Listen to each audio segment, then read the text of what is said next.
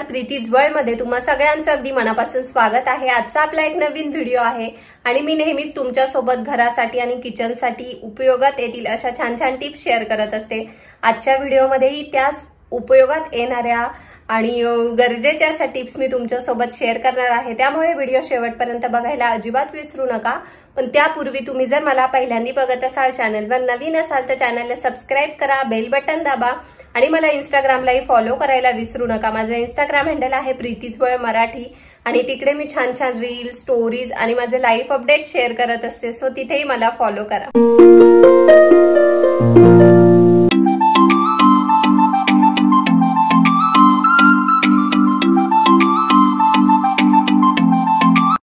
चला तर बघूया आजची आपली पहिली टीप. तर सगळ्यात पहिली आणि महत्त्वाची टीप आजची अशी आहे की बऱ्याचदा आपल्याकडे भरपूर सगळ्या ट्यूब पॅकेजिंगवाल्या क्रीम असतात. तर माझ्याकडे माझं हे सनस्क्रीन लोशन आहे आणि मला आधी असं वाटलं की हे ऑलमोस्ट संपलेलं आहे.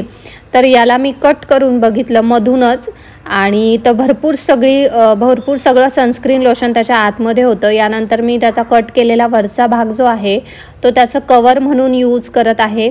आणि भरपूर सगळी क्रीम यामध्ये आहे काहीही वेस्ट होत नाही आणि डेली यूजवर आपण याचा यूज पण करू शकतो आणि यानंतर त्याला कवर त्याचं लावून देऊ शकतो.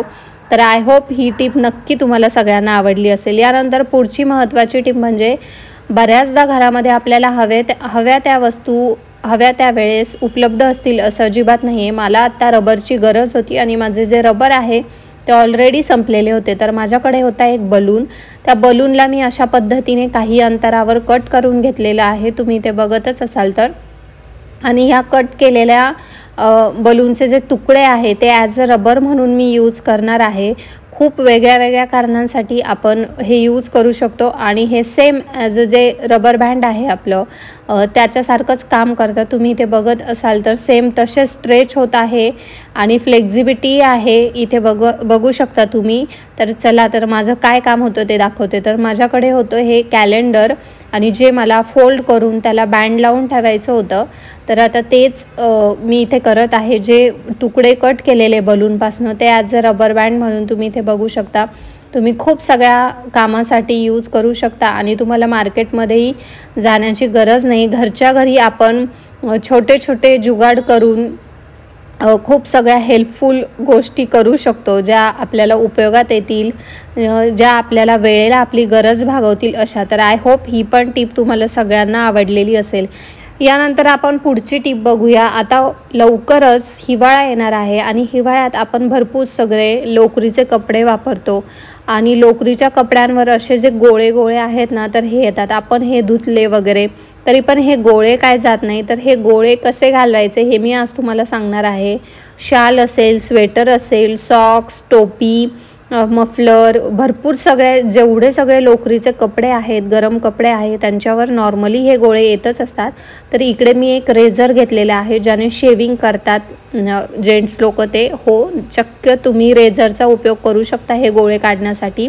आणि अशा पद्धतीने जे स्वेटर आहे किंवा जे ज्या कुठल्या कपड्यावरचे तुम्हाला गोळे काढायचे असेल त्यावर हे रेझर अशा पद्धतीने यूज करायचं आहे. सगळे जे गोळे आहेत ना ते निघून जातात. तुम्ही ते बघत असाल तर या रेझरवर सगळे गोळे जमा होतात आणि जे गोळे आहेत ते संपूर्णपणे निघून जातात. तुम्हा तुम्ही इकडे बघू शकता अजून एकदा मी दाखवते ह्या जो भाग आहे ह्या भागावर भरपूर सगळे गोळे जमा झालेले आहे.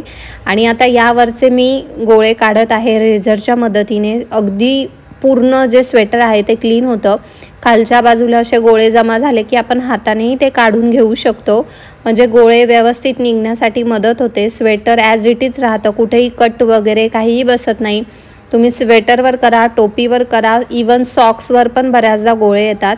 तर सॉक्सवरचेही गोळे काढण्यासाठी तुम्ही हे करू शकता. आणि माझं जे हे जे स्वेटर आहे माझ्याकडे त्याला थोडीशी डिझाईन आहे. त्यामुळे जो स्वेटरचा कपडा आहे तो मी असं स्ट्रेच करून करून गोळे काढते. कारण की जी डिझाईन आहे त्यामध्येही गोळे साचलेले आहे.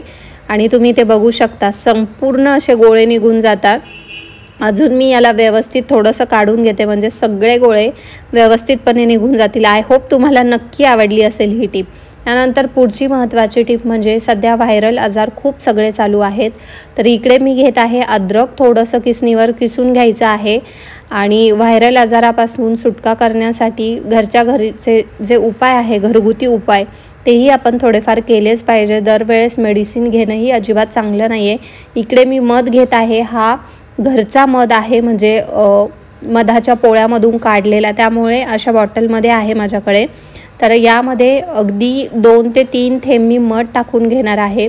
आणि ज्या वेळेस खूप सगळा खोकला वगैरे येत असेल तर अद्रक चा जो किस आहे तो आणि हे मध याची एक अशी गोळी तयार करून घ्यायची आहे. आणि ती जर आपण खाल्ली किंवा जरा वेळ तोंडात जर धरली तर खोकला कमी होण्यास किंवा खोकला जाण्यामध्ये खूप जास्त मदत होते. एकच गोष्ट लक्षात घ्यायची आहे की हे ज्यावेळेस आपण घेतो ही गोळी किंवा हे चाटण त्याच्यानंतर जरा वेळ पाणी प्यायचं नाही आहे म्हणजे याचा जो इफेक्ट आहे तो चांगला होतो आणि लवकर होतो.